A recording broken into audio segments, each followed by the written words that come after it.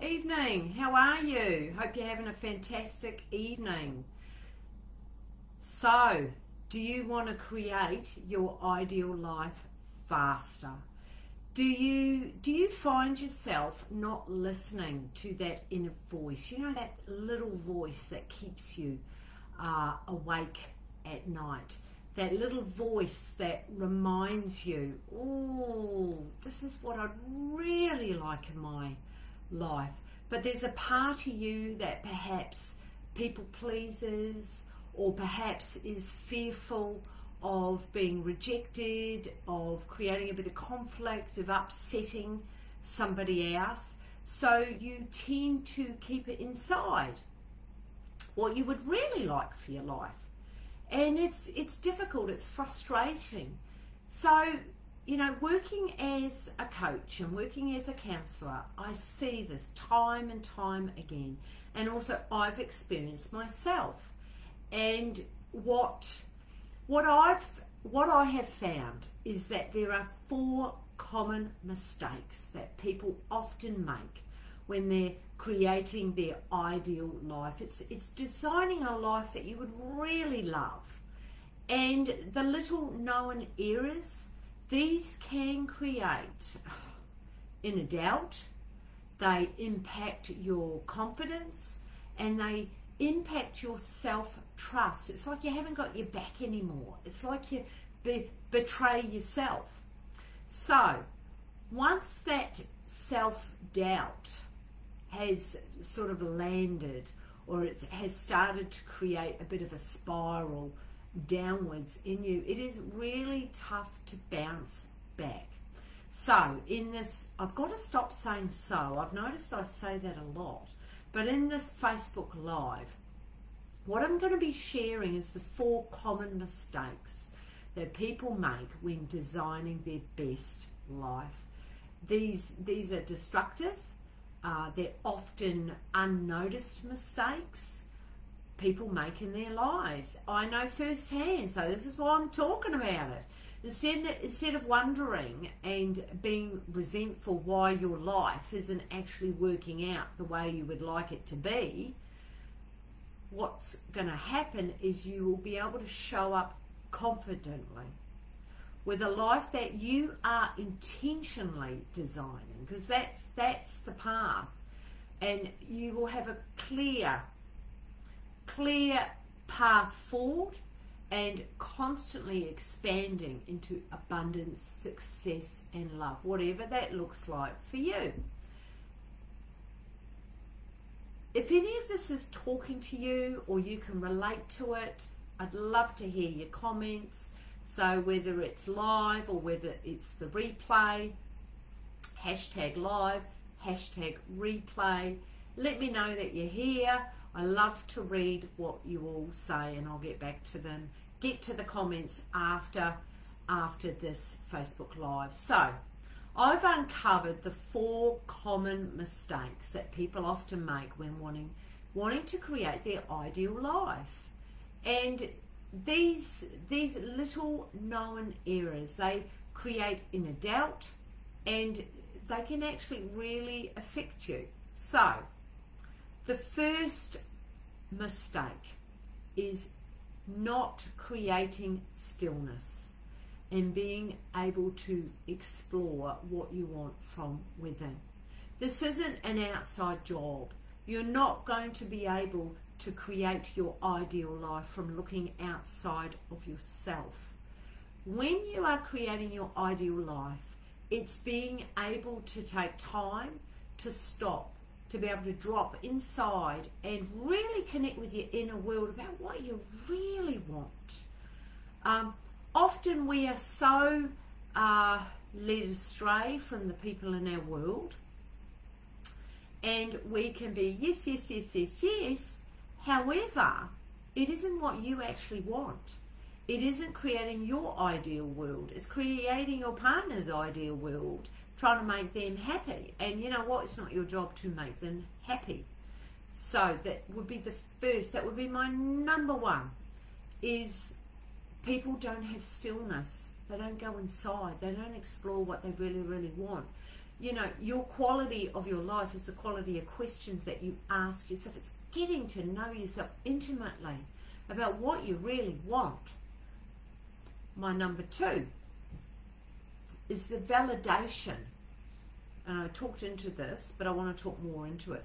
The validation from outside of yourself. So when we have validation from outside of ourselves, that often begins when we're quite young. So when we're young, we look outside of ourselves for validation, to know that we are enough, to know that we are we are loved, that we belong. We look outside to our parents. And if you were with parents who weren't overly good at that, and a lot of you listening to me will probably resonate with this, that at times you didn't feel like you were enough, or that you belonged, or that you were good enough. And so you still have this validation type pattern within you. So you're still looking outside to get validation, and generally from your partner. So, in creating your ideal life, if you're looking for validation from outside of yourself, it's still not coming from within you, is it? It isn't going to land and uh, create that beautiful inner warmth and inner knowing and inner trust within yourself. So, that is my number two. My number three of the four uncommon, the four common mistakes that people make when they're wanting and trying to create their ideal life is there is a fear of rejection and it can be very real. If I decide to do this or go down this path or try this, my partner may not like it. My mother may not like it. People in your world may not like it.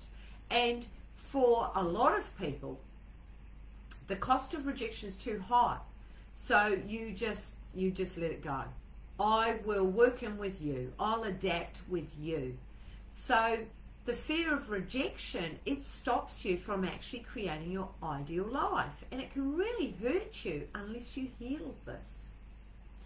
My number four is this is a, this is a really um, big mistake that people make when they're wanting to create their ideal life is they're not comfortable being in growth. So if you're wanting to create an ideal life, you have to be open to being uncomfortable. I've just come off the call from my inner circle group and uh, we do group coaching. And tonight we were talking about the neuro pathways and creating new ones. Uh, we cannot create new ones if we have a fear of growth, a fear of feeling uncomfortable.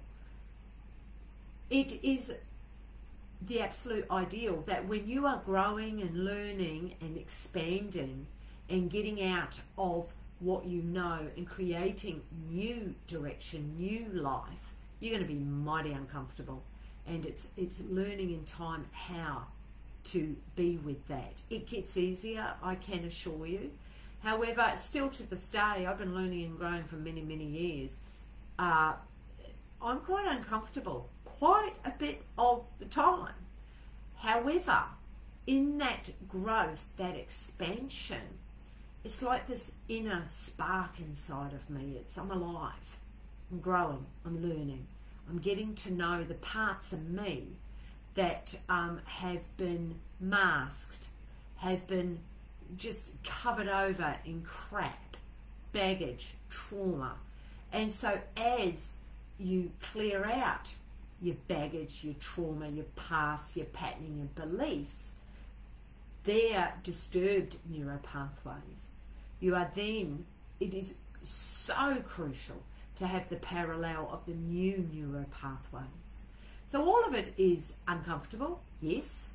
However, it's you've got to be open to being able to be uncomfortable. So they're the four common mistakes.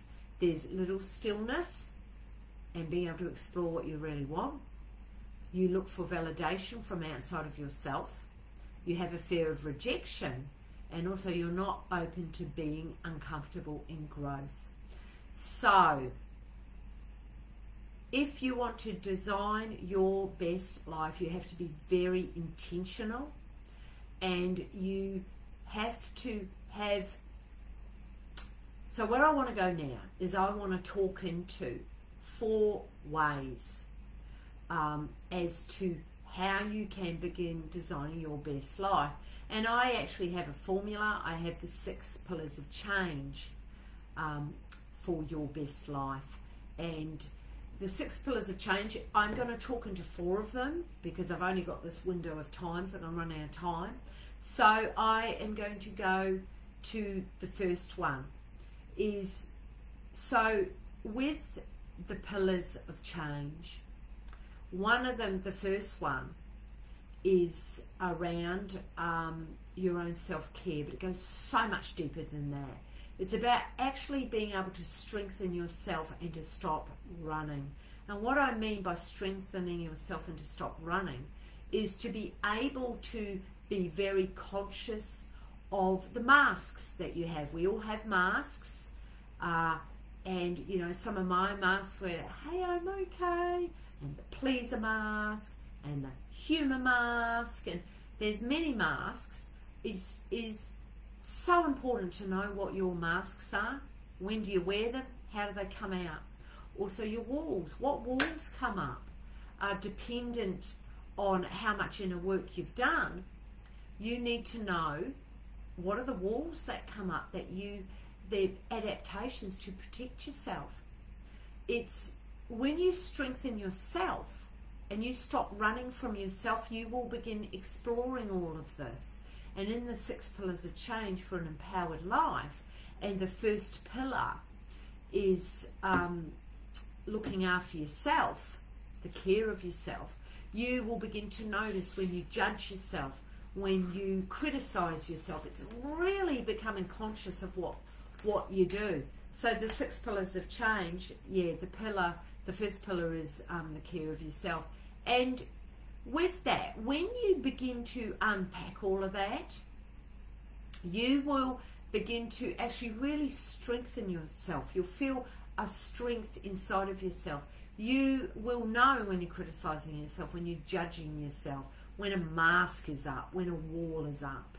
So that's the first pillar. Um, the second, if any of this is speaking to you, I'd love to hear your comments. Hashtag live, hashtag replay. Pop it in the comments what is speaking to you. Uh, if we go into the second uh, pillar, which is um, healthy boundaries, it's knowing when and what you want. So it's having goals around this, goals for clarity over what you want and need. And so when we look at boundaries in the six pillars of change, when with boundaries, it's knowing.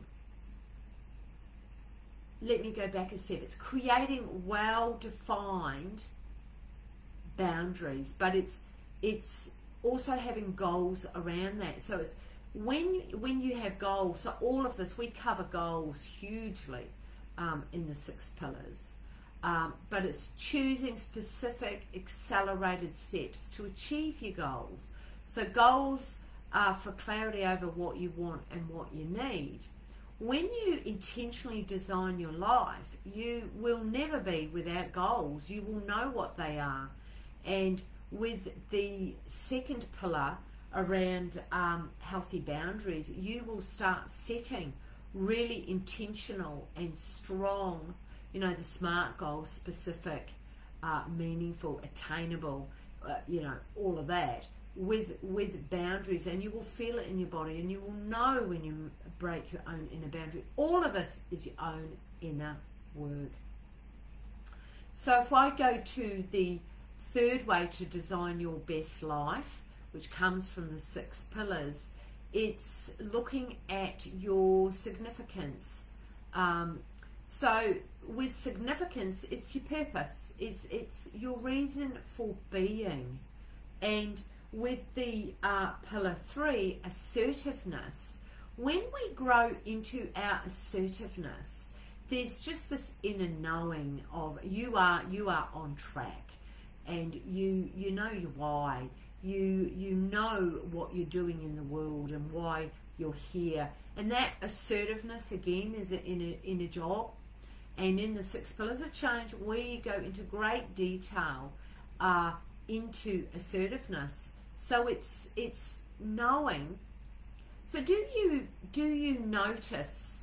I suppose questions to ask yourself is do you or have you sat with your what's my principal role in life and is there assertiveness around that um, or, or the compass another way that i look at it when we are assertive we have this inner knowing we have this inner compass we it's, it's our motive for motivation it's what gets us going it's our energy life force within ourselves so assertiveness we cover that uh, in the six pillars of change. That's the third pillar. And looking more into that and have you question, well, what's your calling? Why are you here? Why are you on this planet? So all of this, I know I'm throwing a lot of questions, uh, but they're really, really valid questions. And when you know this, you are going to be so much more happier in your own skin. You are going to be very intentional, and I use that word a lot intentional in how you design your best life. So, the fourth pillar is nurturing our forgiveness, and that begins with you. Nurturing forgiveness is knowing who you are um, and understanding that when you hang on to something, that someone may have done to you and you're not honoring forgiveness, that hurts you. And so we open all of that up um, in this um, designing your best life and looking at forgiveness because forgiveness is.